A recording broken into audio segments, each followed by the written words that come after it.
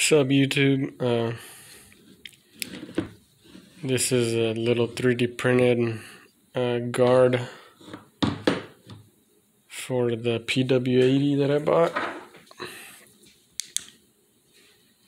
So it has this snorkel stock that goes right there, and they say to if you remove it, you get a lot more airflow and uh, you get a little bit more power but you need to cover that hole from all the dirt that the front wheel is going to be flinging up towards it so I went ahead and designed a little part on onshape.com and I printed it out and I spray painted it and I attached it with uh, double-sided tape and then I shine the light to make sure no light got through on the sides.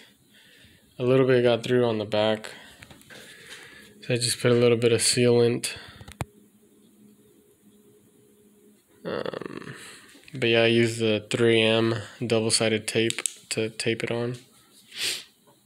So it should be good to go.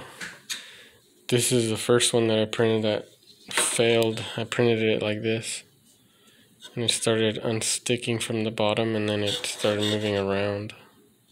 So I had to print it on a brim. Uh, it took about an hour and 30 minutes for each one. So yeah, see how it goes.